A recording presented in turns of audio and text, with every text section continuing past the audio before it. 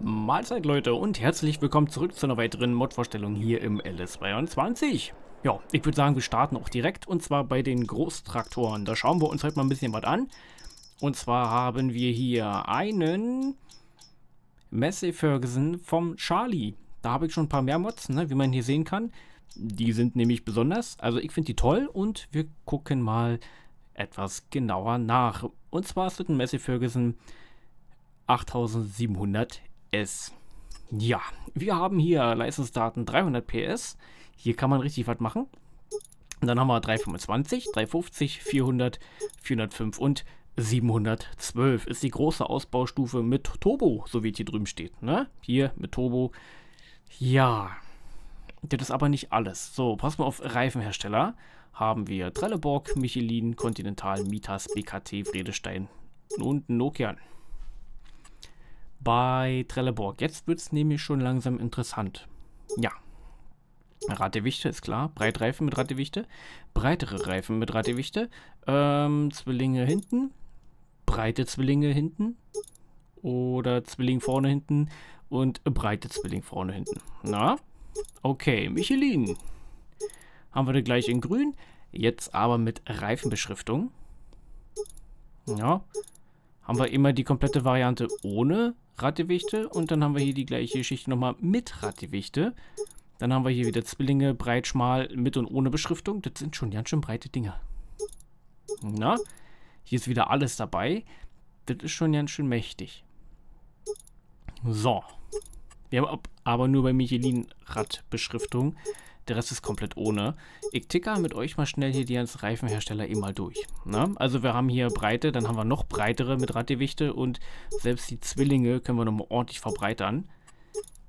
Also die Konfiguriermöglichkeiten alleine bei den Reifen, die ist schon kräftig. Ne? Also zum Silo-Walzen, ja, könnte man so machen.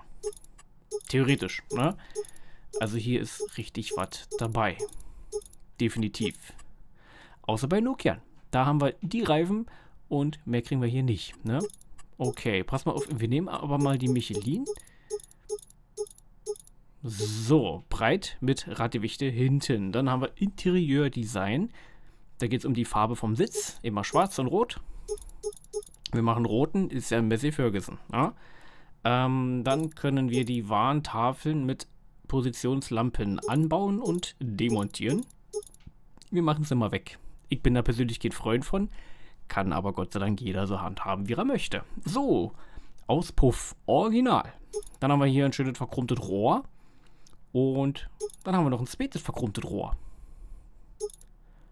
Wir nehmen das hier in der Mitte. Na, das andere hat noch so eine kleine Schweißnaht. Sieht dann noch mehr selber gebaut aus. Wir nehmen mal das hier. Das ist schon ein ganz schöner Auspuff. Ja. So. Dann haben wir Scheinwerfer, Arbeitsscheinwerfer oben drauf auf dem Bügel. Verschiedene Varianten. Wir nehmen mal die hier. Ja, wir haben hier nämlich heller LED, dann haben wir äh, heller 3003 mit Stripes und heller Cargo, heller Luminator, heller LED-Illuminator. Ja. Also da ist sehr, sehr viel dabei. Da haben wir die Scheibentönung normal, getönt und richtig doll getönt. Wir nehmen mal so eine Mittelstufe. Isobus Terminal für den Innenraum. Ne, dieses ähm, computergesteuerte, ja, was ist das? LCD-Display.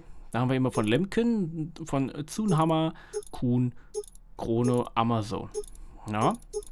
Was man haben will, kann man nehmen. Wir nehmen einfach mal Amazon da rein. Oder Amazone ist es ja besser gesagt. Und Rundumleuchten sind auch nochmal interessant. Wir haben hier normale Rundumleuchten oder wir haben Stroboskop-Blitzer. Wir nehmen mal die Stroboskop-Blitzer, ne, weil Rundumleuchten haben wir sonst alle. Okay, Hauptfarbe. Wir haben eine sehr, sehr große Farbpalette, immer die Originale. Und hier oben haben wir Lack mit Metallic-Effekt. Finde ich sehr hübsch. Wir nehmen mal den Massey Ferguson Rot in Metallic. Steht ihm sehr gut, ne? Sieht übel sportlich aus. Okay, kann auch an den Reifen liegen mit der Beschriftung, als hätte der eine Jogginghose an, ne? So irgendwie so, aber ist sehr hübsch. So, Felgenfarbe. Dementsprechend können wir hier auch nochmal so ein bisschen was auswählen. Ja. Ja, hier ist wieder alles möglich. Man kann auch schön schwarze Felgen machen.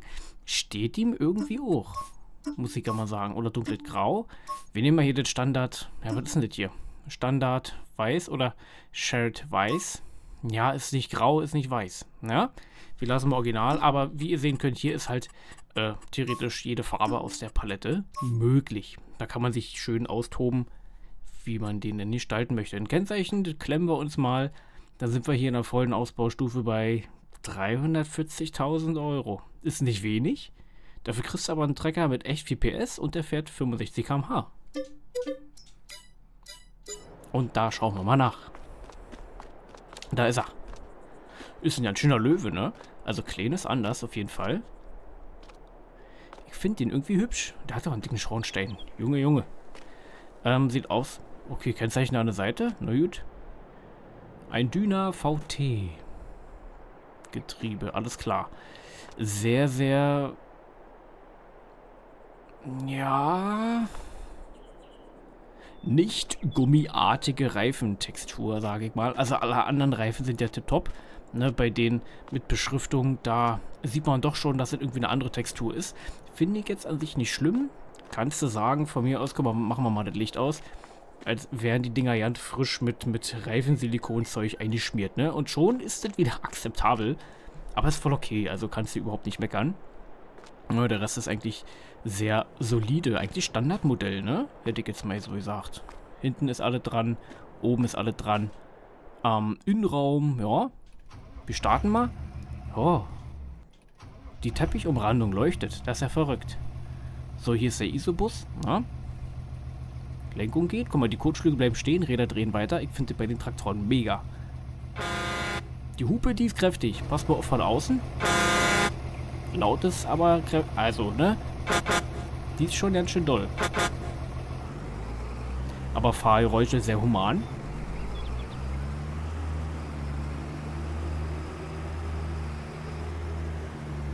So, wir haben Licht. Wir haben mehr Licht. Wir haben Scheinwerfer. Und wir haben aus. Wir haben Rundumleuchten, heißt die Stroboskopblitzer oben an der Kabine ringsrum, ne? Ist mal was anderes. Also ich bin ja nicht so der Freund, also optisch von normalen Rundumleuchten. Da finde ich das hier doch deutlich schöner. Und wir können hier noch die, ähm, na? Genau, die Scheibe ausstellen und die Tür aufmachen. Genau. Sehr, sehr cool. Ähm, hier ist leider wieder das Problem.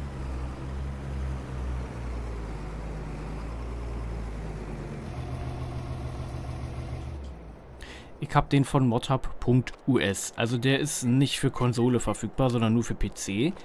Steht alles in der Videobeschreibung. Vielleicht kommt er noch auf Konsole. Ich weiß gar nicht aus dem Kopf jetzt, ob die Charlie-Mods generell alle für Konsole im Giants Mod Hub noch mit aufgetaucht sind. Ähm, auf jeden Fall der hier momentan noch nicht. Kann sein, dass er kommt, dass er eingereicht wurde, das weiß ich nicht. Ich mache die Dinger ja nicht. Aber steht alles in der Videobeschreibung, wie die Mod heißt, wo ihr die findet und für welche Plattform. Ich würde sagen, wir gucken weiter.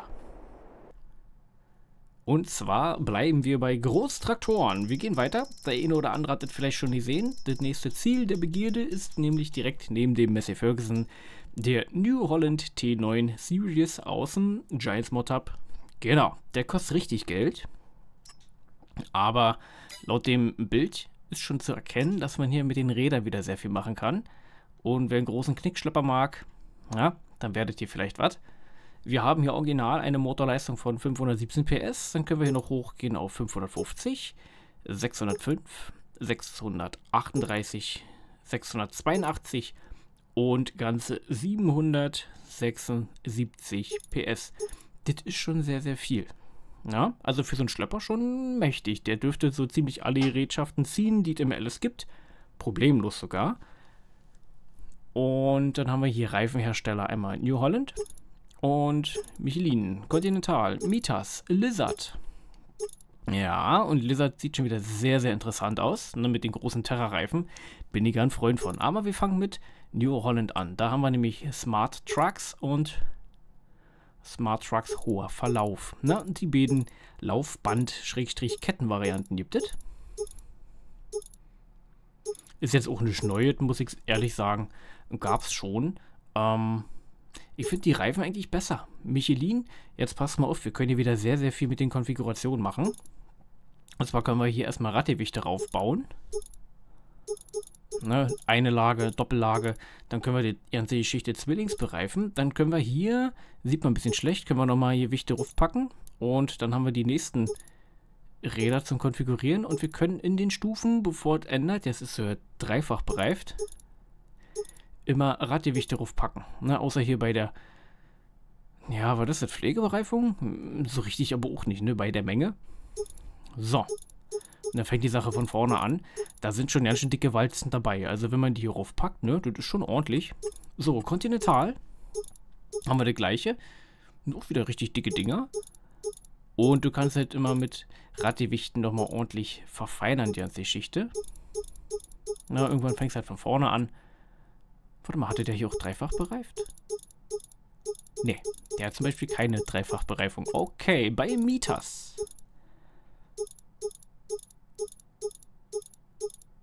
Werden die Felgen nochmal ein bisschen größer, aber bleibt bei Zwillingsbereifung bei Lizard. Jetzt wird interessant. Wir haben hier relativ große Reifen. Dann können wir hier, wie gesagt, die Radgewichte wieder raufpacken. Dann haben wir hier eine Nummer schmaler. Da geht sogar die Begrenzung an der Seite ne? ein bisschen mit zurück. Dann haben wir hier wieder Radgewichte. Dann haben wir hier nochmal eine andere Variante mit etwas gröberen Profil. Und dann haben wir hier sogar Terra-Reifen Zwillings-Variante theoretisch. Ja, und hier haben wir nochmal eine Dreifachbereifung. Und hier ist halt immer mit Radgewichten noch konfigurierbar. Finde ich eigentlich ganz hübsch, muss ich ehrlich sagen. Na, wollen wir das dir mal angucken? So viel, also mit den Reifen sind wir durch. Mehr kommt die, glaube ich, nicht. Ähm, oder? Was haben wir hier noch? Genau. Okay, dann geht die Sache von vorne los. Wir nehmen mal die dicken Dinger. So, ähm, Frontoption. Wir haben hier eine Werkzeugkiste. Wir können ja aber auch eine Werkzeugkiste mit Frontgewichten anbauen. Dann hätten wir nochmal eine Tonne als Zusatzballast vorne mit dabei. Fenster haben wir normal, mittelgetönt und richtig dunkel. Und nochmal richtig, richtig dunkel. Ähm, wir nehmen mal die erste Tönungsstufe. Auspuff haben wir hier dieses gebogene Rohr oder eine Klappe. Die beiden Varianten haben wir. Und Leuchtfeuer. Da ändern sich dann die Rundumleuchten oben drauf. In verschiedenen Varianten. Wir nehmen hier diese kugeligen. Anhängerkupplung. So, jetzt gehen wir nach hinten. Da haben wir einmal die normale Zugvorrichtung. Dann haben wir hier die Konsole für Gewichte. Dann können wir hier die erste Packung Gewichte drauf packen. Eine zweite Packung Gewichte, da sind wir bei 1200 Kilo. Oder wir können einen großen Kraftheber anbauen. Wir nehmen hier die Munition mit den Gewichten. Und ein Kennzeichen noch, wir sind bei 551.000. Ist schon echt viel, aber ist auch ein großer Schlöpper. Farbe können wir nicht verändern. Der ist typisch New Holland blau. So, da ist er. Das ist ein ganz schöner Apparat, wenn ich ehrlich bin. Ne? Ist eigentlich wie ein Originalmodell. Halt hier nur wieder mit den Reifen. Je nachdem, welche Variante man nimmt, da variieren dann halt auch die Texturen davon. Aber ich muss sagen, ne, schönes Ding. Ist mal wieder was anderes. Vor allem, weil man hier auch schön wählen kann zwischen Bandlaufwerken und Reifen. Vor allem hast du hier irgendwie gefühlt alle Reifenvarianten, die für das Ding irgendwie, irgendwie mal erfunden wurden. Ist schon okay. So, Innenraum. Ja, ist typisch original. Wir starten mal. Ja, Hebelei ist auch dabei. Geht alles. Tacho funktioniert. Display funktioniert. Wir haben eine Hupe. Wir haben Blinker. Wir haben Licht. Wir haben Scheinwerfer. Wir haben noch mehr Scheinwerfer. Und wir haben Rundumleuchten. Zusatzfunktionen hat er keine. Ist ein reiner Knickschlepper. Ähm, ja. Sehr solides Modell. Also, ich muss sagen, mir fällt er irgendwie. Schon alleine wegen den verschiedenen Reifenvarianten. So, den hier habe ich von Giants Mod Hub für alle Plattformen, wenn ihr alle täuscht. Ja, genau. Den T9 Series gibt es aus dem Giants Mod Hub für alle. Das ist schön. Ähm, ja, wie der heißt, wo ihr den findet, steht alles in der Videobeschreibung. Und ich würde sagen, wir gucken direkt weiter, weil ich habe noch ein bisschen was. Wir gehen in die Mähdrescher. Da habe ich einen kleinen alten Kollegen gefunden. Und zwar ist der auch von der Firma New Holland. Und zwar den TX66. Der kostet 150.000, ist eigentlich voll okay. Der hat ein Korntankvolumen von 8000 Litern. Ist für so einen kleinen, schrägstrich alten Retro-Drescher voll okay. Ja, der hat 266 PS, fährt 40 km/h, was für einen alten Drescher echt schnell ist, muss ich sagen. Und wir haben sehr viele Reifenhersteller. Wir haben hier immer Allianz. Dann haben wir hier einmal Michelin, Trelleborg, Fredestein und Taurus Mitas. Wir fangen mal bei Allianz an. Da haben wir Reifenvariante. Da ändert sich immer an der Lenkachse hinten das Profil und die Reifengröße. Ja, ich finde ja die immer toll. Vor allem, du kannst damit auch die komplette Dröscherhöhe variieren. Na? Würde wahrscheinlich auch die Stellung vom Schneidwerk vorne dementsprechend beeinflussen. So, die gleiche Geschichte haben wir dann bei Michelin natürlich auch. Bei den einzelnen Reifenherstellern, da variiert dann auch das Profil der vorderen Reifen mit. Ja, aber hier diese ja, was ist das hier? Von so einem Wasserfass oder was? Oder so ein alter Flugzeugreifen? So sieht es ungefähr aus, ne? Den haben wir bei allen Reifenherstellern. Dann haben wir hier noch Redestein. Machen wir mal im Schnelldurchlauf. Ich muss sagen, das Profil von dem Taurus-Reifen sieht an der Hauptachse vorne recht interessant aus. Ist mal wieder was anderes wie der normale Einheitsbrei sonst. Na, und mit den Reifen hinten, das macht schon irgendwie was her, muss ich ehrlich sagen. Mitas hätten wir noch. Aber da tut sich nicht mehr so viel. Ich würde mal gerne die Taurus hier nehmen. Dann haben wir Abziehbilder. Wir können das Ding nämlich in verschiedenen Varianten noch umgestalten. Dann hätten wir hier noch so einen Schriftzug. Finde ich bald ein bisschen hübscher wie den. Der hier, ne? Und das IKR-Logo wechselt sich unten ab mit diesem Axial-Logo. Ja, da müsste man ein bisschen drauf achten. Dann steht da immer Axial oder das steht dann da unten oder da. Ja. Und da kann man sich so ein bisschen durchprobieren. Gibt sehr viele verschiedene Varianten. Ich glaube, ja, acht Stück. Genau. Steht ja auch da. Wir nehmen einfach mal das hier. So. Und dann können wir noch hier die Warntafeln anbauen oder abbauen. Das war dann schon. Wir machen die einfach mal ran. Der kostet 150.200 mit Konfiguration. Ist voll okay. Ne, für so einen alten Dröscher kannst du eigentlich nicht meckern. Und dazu gibt es, wenn wir auf Kombinationen gehen, noch einen Schneidwerkwagen von Nadi also der wäre halt passend dazu. Und ein TX66 Header Schrägstrich Schneidwerk. Ja. Äh, 6,1 Meter ist voll okay. Und kostet 42.000. Da kannst du ja auch nicht meckern. Man kann hier nichts verändern. Da steht New Holland dran. Packen wir mal mit ein. Schneidwerkwagen klemmen wir uns mal. Und wir gucken. Da ist er. Der sieht voll gut aus. Also, ja, texturentechnisch, wenn man richtig dicht rangeht, ja, dann, ne? Sind aber so ja, Flügelmuttern dran.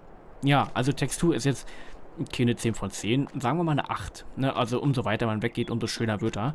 Das Gesamtbild am Ende ist dann wieder überzeugend, aber der Rest ist von sich, ihr sehen, auch ja nicht so schlecht. Ne?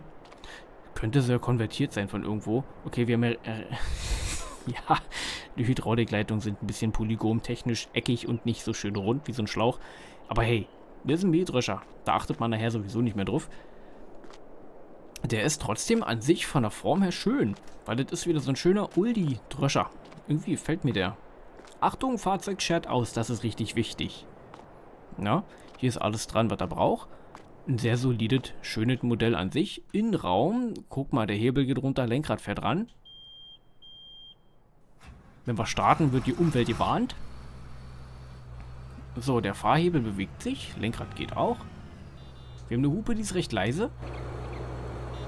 Oben drauf ist der Motor. Sieht gar nicht mal so schlecht aus. Ja, guck mal, das innere Riemenrad ist sogar animiert. Das innere von den Beinen. Äh, ist ja cool. Rundumleuchte. Ähm, wir haben Licht. Wir haben Blinker. Wir haben Arbeitsscheinwerfer.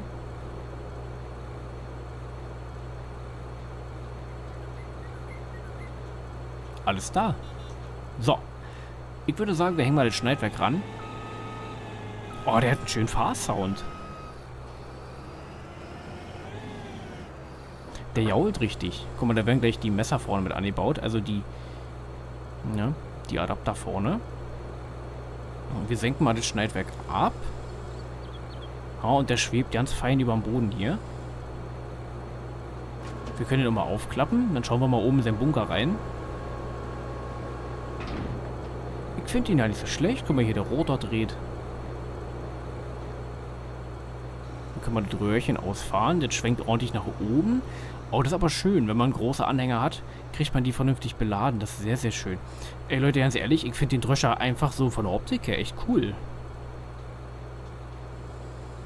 Kann man mal machen. Und wie gesagt, der fährt hier, steht 32 km/h.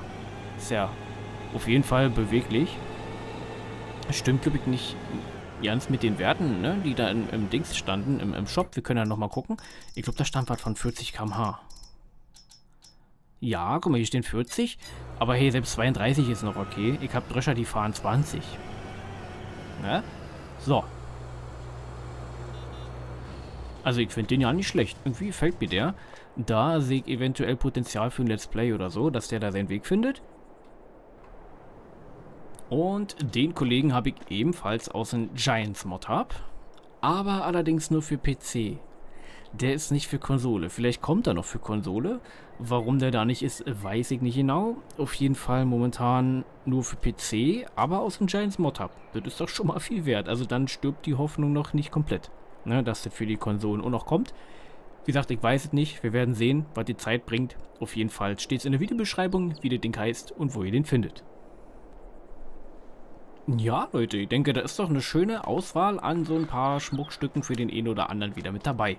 Ich dachte mir, wir gucken uns das mal genauer an. Gerade er hier, hier fällt mir doch außerordentlich gut. Hätte ich es am Anfang nicht gedacht, aber ja. Na, guck mal, jetzt wo die Leitungen hier vorne am Schneidwerk dran sind, ist es auch ja nicht mehr ganz so doll schlimm. Ähm, der Messi Ferguson, der hat mich ja voll überzeugt. Messi Ferguson bin ich immer irgendwie nicht so rangekommen, aber der hier ist ganz hübsch. Kann man ja mal fahren. Und, naja, großer New Holland Knickschlepper sowieso, ne?